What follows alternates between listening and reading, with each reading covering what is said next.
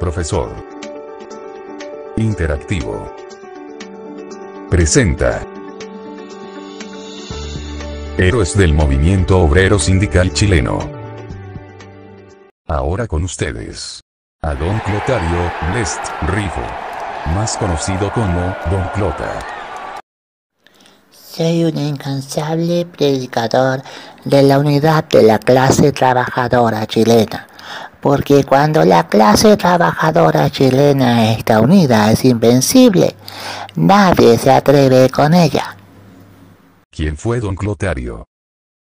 Un luchador social, un político, un pacifista, un activista, un revolucionario, un político, un religioso, y la alternativa es, todas las anteriores.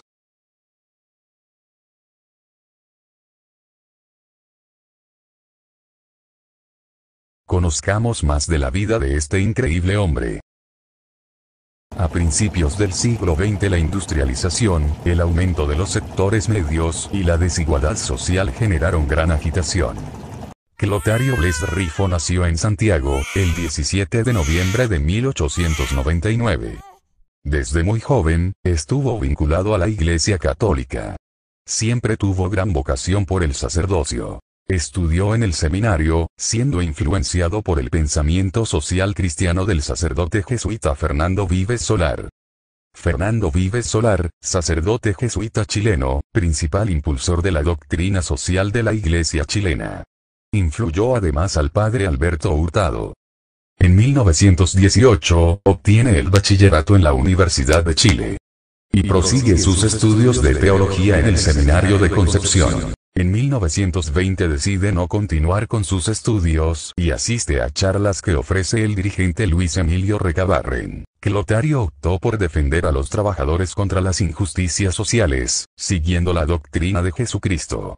Durante los años 30 fundó varias agrupaciones laicas, siendo la más importante la denominada Germen. Se considera a esta agrupación como la precursora de la teología de la liberación. La teología de la liberación es una corriente teológica cristiana integrada por varias vertientes católicas y protestantes, nacida en América Latina que se caracteriza por considerar que el Evangelio exige la opción preferencial por los pobres. Blest inició su vida adulta trabajando como funcionario público en la Tesorería General de la República donde estuvo por 30 años. Funda la Asociación de Empleados de Tesorería, primera organización gremial fundada por Blest. Y la Asociación Deportiva de Instituciones Públicas, ADIP. Fundé clubes deportivos y culturales donde se daban charlas técnicas y sociales Mente sana en cuerpo sano. Para ser buen empleado hay que alimentarse bien, tener buen sueldo y luchamos por eso. Funda y lidera la Agrupación Nacional de Empleados Fiscales, con lo que se consolida la Organización Gremial de los Trabajadores del Estado con la creación de la Junta Nacional de los Empleados de Chile, JUNECH, que agrupa a la ANEF, semifiscales, ANES y particulares, SETCH, culmina el proceso gremialista iniciado por Clotario Blest. Integra la delegación chilena a la Confederación Económica Mundial en Moscú y ante delegados de 49 países del mundo, Blest pronuncia un discurso contra el armamentismo, el imperialismo de los Estados Unidos y a favor de la paz. El 15 de febrero de 1953, Clotario Blest participa activamente en la fundación de la Central Unitaria de Trabajadores, CUT.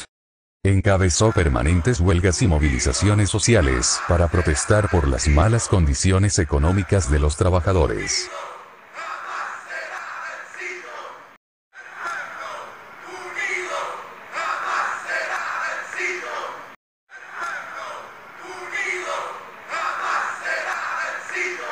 Su actitud rebelde y altamente consecuente, le trajo grandes problemas con el poder establecido, pero nada de eso amilanó su espíritu.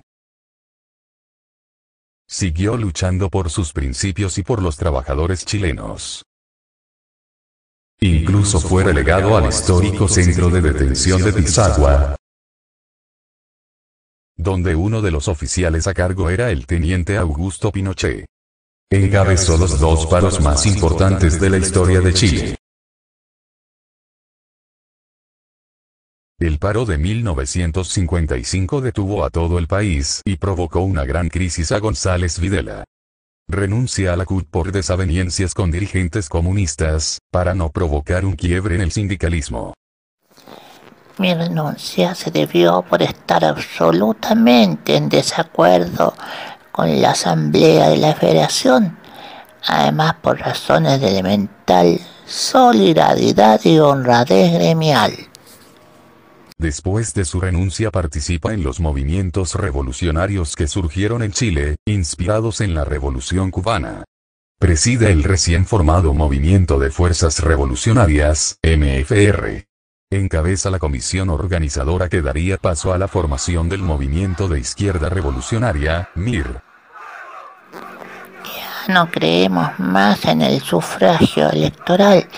Solo una izquierda revolucionaria podría efectuar realmente la transformación a base de la acción directa del pueblo organizado. Solo así podremos vencer a la oligarquía prepotente se produce el conflicto con el ala más joven y radical del MIR, y Clotario decide renunciar. Ese mismo año asiste al cincuentenario de la Revolución de Octubre, en Moscú, en representación de los trabajadores de Chile. El año 68 Clotario participó activamente en la toma de la Catedral Metropolitana junto a religiosos y laicos en protesta contra una autoridad eclesiástica.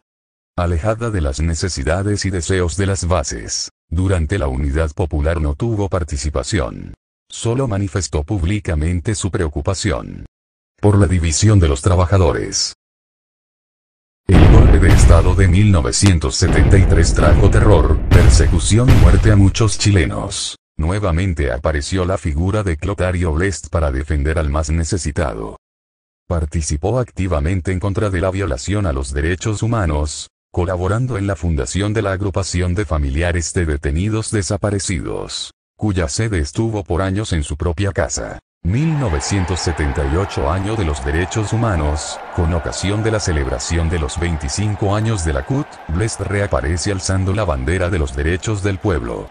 Su casa fue allanada muchas veces por militares, la DINA y la CNI, la DINA, organismo creado por la dictadura de Pinochet, que persiguió, secuestró, torturó y asesinó a dirigentes políticos de izquierda. Una vez disuelta la DINA, Pinochet crea la CNI, Central Nacional de Informaciones con muchas más atribuciones.